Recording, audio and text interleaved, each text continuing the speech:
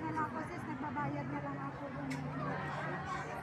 Napag-usapan namin sa kanya na i-shoulder na lang natin yung bayad ng boarding house na for 14 ay 17 days ba? 17 days siya na mag-stay. Dito sa Hong Kong,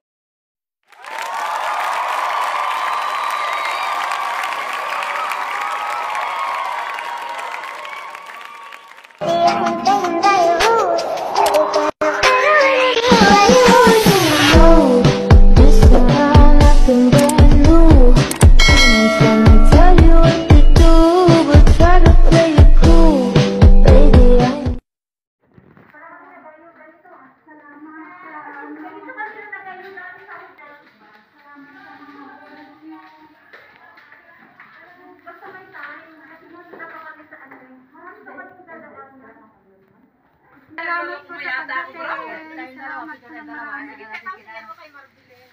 Sa baba dun sa nahilo. Ayun. Nandito tayo ngayon para ibigay yung ating pinangakong ayuda sa ating ano sa ating kababayan na naoperahan sa ulo. Ito si um, kapatid ni si Vilma Alog. Ayan.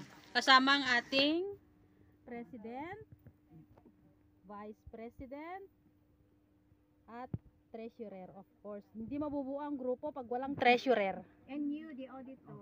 Okay, taking a video. Ito yung tulong namin sa'yo. Magpalakas ka, bahaw ka na. So, hindi mo na problema yung pambayad mo ng ilang araw. Maraming pong salamat sa social justice for migrant workers. Sana po, lalo pong lumakas po yung organization nyo para ma- marami pa po kayong matulungan. Nagpapasalamat din po ako sa kaibigan ko, kay Madel, at sa lahat na nakatira dito sa boarding house sa pag-aalaga nila sa akin na tinutulungan ako at iniingatan po dito sa boarding house po para po lalo po akong lumakas, bumalik po yung kalakasan ko po at sana makabalik na din po ako sa amo ko soon. Marami pong salamat. God bless po sa ating lahat. And more power po sa social justice for migrant workers. Sana Diyos na po ang bahala sa inyo na magbalik po sa kabutihang loob niyo po. Marami pong salamat mga kababayan ko.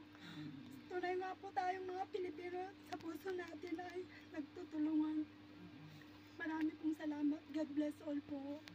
Ang perang naiipon po natin, eh, galing po sa ating mga kababayan din, sa ating mga members, yung mga may ekstrang pera na bukal sa loob na tumulong. So, kahit pa konti-konti yung binibigay nila, may nagbibigay ng 10, 20 dollar. Pag naiipon, dumadami, di ba? So, nakaipon po tayo. Yung iba nagbibigay ng 100. So, naiipon-ipon yon Kasi nakikita nila na talagang yung perang um, natatanggap natin ay naibibigay sa mga taong nangangailangan talaga. Mm. Thank you so much sa lahat po ng supporters ng social justice and migrant workers. At kitang-kita naman po ang ebidensya na lahat po ng perang natatanggap namin ay napupunta sa dapat puntahan yung talagang nangangailangan.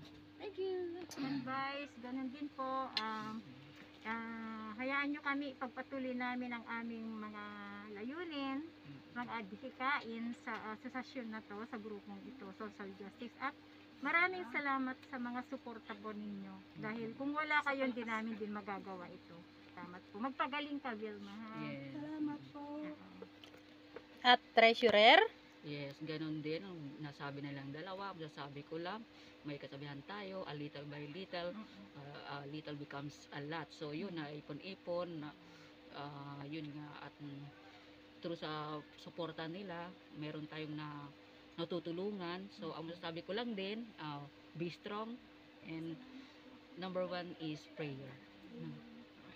Perahan ka sister at nag-stay ka sa hospital, may programa ang OWA na makakakuha ka ng welfare assistance program.